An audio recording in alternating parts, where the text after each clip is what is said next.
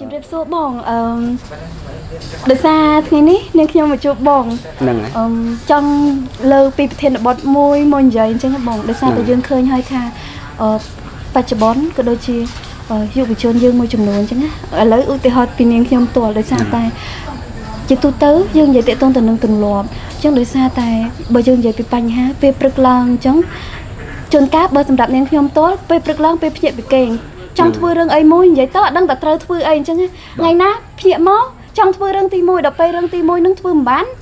ចូលរឿងទី2កាន់តែញ៉ៃញ៉ៃអញ្ចឹងខ្ញុំចង់ឲ្យបងអឺជួយផ្ដល់ជាមតិក៏ដូចជាការដោះស្រាយទាក់ទងនឹងការកែប្រែទម្លាប់ពេលព្រឹកនឹងអញ្ចឹងហ៎បងតើអឺតើខាងបងអឺមានជាអ្វីដែលជាមតិដើម្បីផ្ដល់មកកាន់នាងខ្ញុំក៏ដូចជាអ្នកទាំងអស់គ្នានៅពេលដែលជួបបញ្ហាទាំងអស់នេះអញ្ចឹងហ៎បងអឺហ្នឹងហើយសំណួរល្អចា៎បង ព្រោះថាសំណួរមួយនេះចង់ផ្ដោតទៅលើសំខាន់ទៅលើថាតើពេលព្រឹកយើងគួរធ្វើអីចាបងមែនចាមនុស្សជាច្រើនវាមានបញ្ហានឹងរឿងហ្នឹងទាំងអស់ចាចាអញ្ចឹងដើម្បីថាតើធ្វើយ៉ាងម៉េចដើម្បីឲ្យទម្លាប់ពេលព្រឹកហ្នឹងមានប្រសិទ្ធភាពចាបងវាមានវាមានត្រង់ថាតើយើងគួរធ្វើបែបណាចាអញ្ចឹងទម្លាប់ទី1ដែលយើងក្រោកពីគេងទី1យើងត្រូវតែមានគម្រោងការនៅពេលយប់ យើងថាយើងគួររៀបបែបណាដើម្បីឲ្យព្រលឹមឡើងយើងអាចធ្វើវាចាបងទី1យើងគឺកុំកាន់ទូរស័ព្ទនៅពេលដែលយើងកាន់ទូរស័ព្ទវាធ្វើឲ្យយើងនឹងអូសឬមួយយើងលេង Facebook ហ្នឹងទៅឬមួយយើងលេងអ្វីផ្សេងហើយយើងមិនបានស្ដាប់អាវីដេអូដែលលើកទឹកចិត្តរបស់យើងវាធ្វើឲ្យយើងនឹងអារម្មណ៍មិនល្អហេតុអីបានជាយើងអុស Facebook មួយថ្ងៃមួយថ្ងៃហ្នឹងធ្វើអារម្មណ៍របស់យើងមិនល្អចាបងវាមានមូលហេតុរបស់វាតាមមូលហេតុគឺជាអ្វីខ្ញុំប្រាប់អ្នកទាំងអស់គ្នា ទី1នៅពេលដែលអ្នកអុស Facebook គឺអាអកមុនរបស់អ្នករបស់អ្នកទាំងអស់នេះគឺធ្វើការនៅពេលដែលវាធ្វើការទៅហើយអ្នកអុសវាញ័រពេកវាដំណើរការរបស់ខួរក្បាលរបស់យើងហ្នឹងគឺបញ្ជូនទៅក្នុងខ្លួនប្រាណហើយវាធ្វើឲ្យយើងនឹងផលិតអកមុនវាមិនទាន់ដល់ពេលអញ្ចឹងមកវាអាចប៉ះពាល់នឹងប្រតិកម្មវិជ្ជាកម្មហ្នឹងវាមកដល់ខួរក្បាលរបស់យើងចាបងហើយវារឿងទី1ដែលធ្វើឲ្យយើងប្រតិកម្មអឺអឺព្រលឹមឡើងបាត់ទៅហើយមិនចាំអីទេហើយនៅពេលដែលហ្នឹង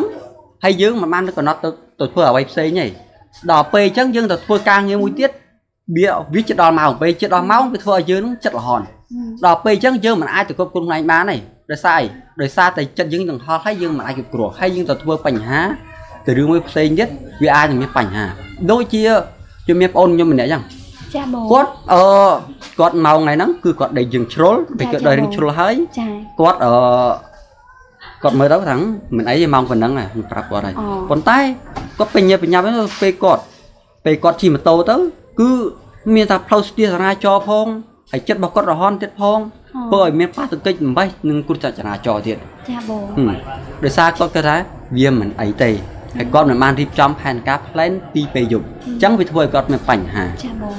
តើយើងគួរដោះស្រាយបែបណាទី1 យើងកំណត់ពេលវេលានៅក្នុងពេលថ្ងៃហ្នឹងពេលផលិតពេលថ្ងៃហ្នឹងព្រលឹមឡើងយើងគួរធ្វើអ្វីខ្លះទី1យើងទម្លាប់ពេលអានសភៅពេលអានសភៅព្រលឹមឡើងវាធ្វើឲ្យយើងហ្នឹងវាស្រស់ស្រាយហើយវាអាចវាចូលដោយសារពេលព្រលឹមឡើងវាជាគូក្បាលរបស់យើងវាអត់មានចូលអីទេគឺវាត្រូវការសម្រាប់ហើយពេលនោះយើងពីអានសភៅគំនិតជាច្រើនវានឹង ចូលហើយយើងនៅយើងទទួលបានចំណេះដឹងព្រោះសតិរបស់យើងនៅពេលព្រលឹមឡើងវាអត់តន់ធ្វើការអីទេអញ្ចឹងសតិរបស់យើងហ្នឹងគឺអាចគ្រប់គ្រងទៅលើមេរៀនដែលយើងគ្រប់គ្រងបានហើយដល់ពេលរឿងទី2ដែលយើងកំណត់ពេលយប់ហើយយើងអាចធ្វើវាតាម plan នីមួយៗពេលនោះយើងនឹងយើងនឹងមានសមត្ថភាពក្នុងការគ្រប់គ្រងលើខ្លួនឯងនៅពេលដែលយើងមិនអាចគ្រប់គ្រងខ្លួនឯងតែគូយើងគួរធ្វើបែបណាទី1យើងគ្រាន់តែតាមយើងគ្រាន់តែមានសតិដឹងនឹងការតាមដង្ហើមរបស់យើងនីមួយៗពេលនោះយើងនឹងមានសមត្ថភាពមួយយើងអាចទៅ ធ្វើកិច្ចការមួយទៀតពេលខ្លះយើងមិនតអាចមិនអាចទៅគ្រប់គ្រងបញ្ហាទាំងអស់បានទេហើយយើងមិនអាចទៅគ្រប់អឺមិនអាចគ្រប់គ្រងពេលវេលាទាំងអស់បានដែរប៉ុន្តែអ្វីដែលយើងអាចគ្រប់គ្រងបាននោះគឺខ្លួនរបស់យើងខ្លួនរបស់យើងគឺជាអ្នកចាប់ផ្ដើមទី1ដែលយើងត្រូវធ្វើនៅពេលដែលយើងគ្រប់គ្រងខ្លួនឯងបានសួរថាយើងបញ្ហាគ្រប់គ្រងបានអត់បានបងចាបញ្ហាដល់ពេលដែលយើងគ្រប់គ្រងខ្លួនឯងមិនបានគឺដោយសារតែយើងនឹងឯងចា បងបញ្ហាជាច្រើនដែលចូលមកក្នុងជីវិតរបស់យើងភាគច្រើនដោយសារតែយើងអត់មានទម្លាប់នៃការគ្រប់គ្រងខ្លួនឯងបាទចាបងអឺខ្ញុំចង់សួរបងបន្ថែមអីតកតងទៅនឹងសំណួរខ្ញុំចង់ឲ្យបងអឺ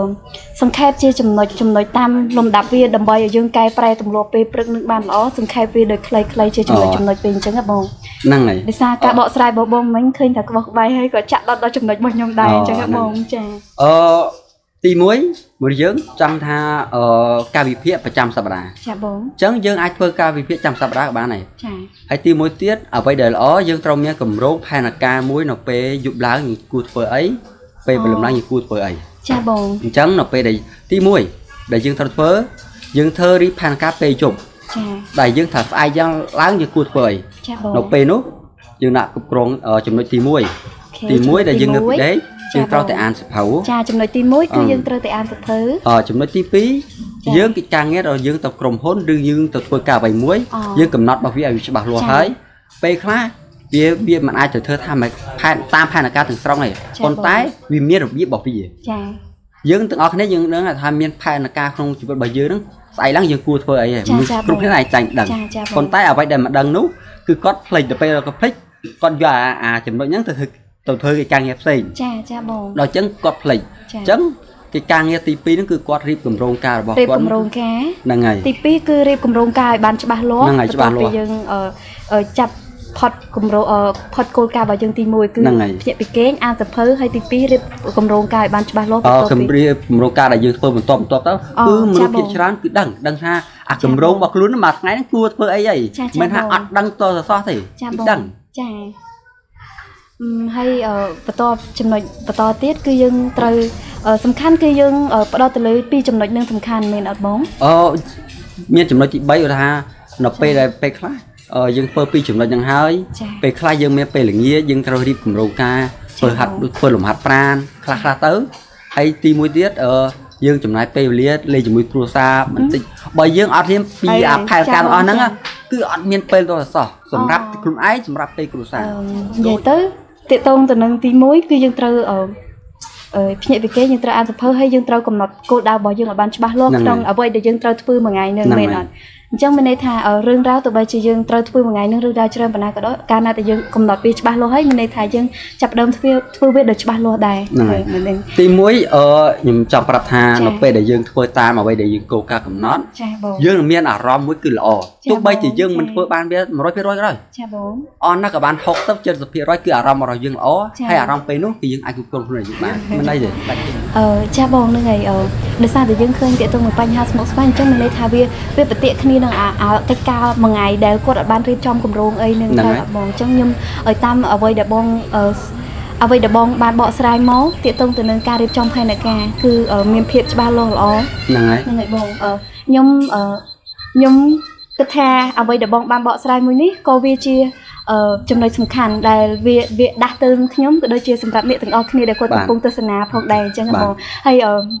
អឺយើងនឹងលើកប្រធានបទមួយទៀតនៅក្នុងថ្ងៃក្រោយប៉ុន្តែថ្ងៃនេះនាងខ្ញុំអរគុណបងសម្រាប់អឺការបកស្រាយនៅប្រធានបទមួយនេះឃើញថាវាល្អវាជាការដាស់តឿនទាំងនាងខ្ញុំក៏ទៅដូចជាអឺទស្សនិកជនទាំងអស់គ្នាដែលគាត់មានបញ្ហាកំពុងតែជួបបញ្ហាទាំងអស់នឹងដែរអញ្ចឹងអីដោយសារតែពេលវេលារបស់យើងមានកំណត់អញ្ចឹងអឺអីខ្ញុំបង ហ្នឹងហើយនឹងឯងក៏សូមអឺជម្រាបលាអ្នកទាំងអស់គ្នាហើយក៏សូមអរគុណសម្រាប់ការតាមដានទស្សនានៅអឺតាកតងទៅនឹងការបកស្រាយប្រធានបទតាកតងទៅនឹងទម្លាប់ក្នុងការធ្វើពេញរយៈពេលមួយថ្ងៃនេះផងដែរហើយសង្ឃឹមថាវីដេអូមួយនេះបងសង្ឃឹមថាវីដេអូមួយនេះហើយក៏អាចជាផ្ដល់ជាអត្ថប្រយោជន៍ទៅកាន់ហ្នឹងពួកហើយគាត់អឺជាអ្នកទស្សនាផងដែរបាទហើយក៏សូមអរគុណអរគុណអរគុណបងដូចគ្នាចា៎កូនចា៎